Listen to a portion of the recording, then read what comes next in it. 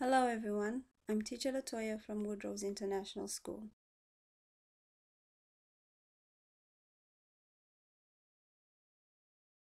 Our discussion for today is going to be on mirrors, seeing behind you, and periscopes.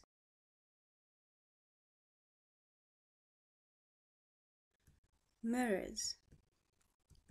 We've already learned that in order for us to see things, we need light and light comes from sources, either artificial sources or natural sources. We also discussed that light travels in straight lines called light rays or beams of light. And we also talked about how we see things, but let us go through that again.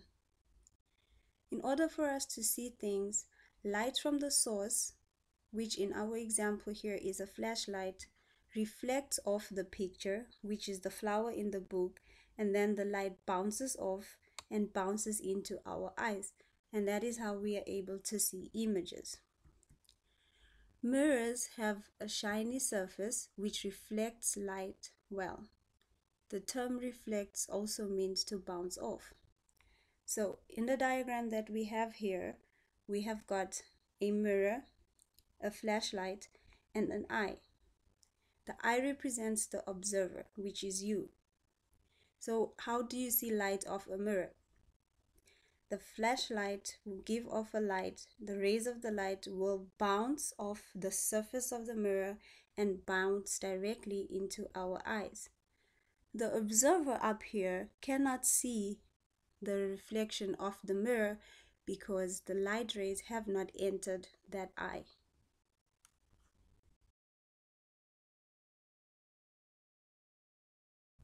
Seeing behind you.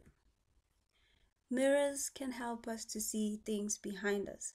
They actually have many applications in our everyday lives. In order to see behind you, you need two mirrors. You can always try this at home with somebody helping you. One mirror is placed in front of the object and the other is placed behind the object. So you can have a mirror in front of you and have somebody hold a mirror behind you so that you'll be able to see the back of your head. Light from the source reflects off the object onto the back mirror. The object in this case would be the back of your head. The light reflected off the back mirror is then reflected onto the front mirror. So what is being viewed at the back mirror will then be seen on the mirror in front. Lastly, the light reflected off the front mirror enters your eyes and you're able to see the back of the object. So this is how you will be able to see the back of your head. Please try this at home.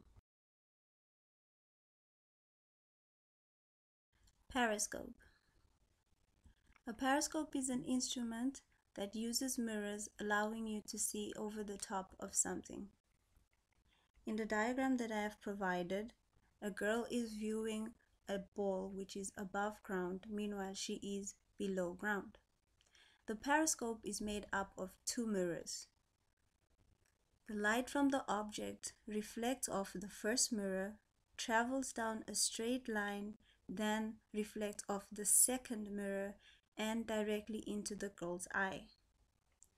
Periscopes are used on submarines, tanks, and also by soldiers underground to see what is above them without them having to go outside and get themselves injured in times of battle.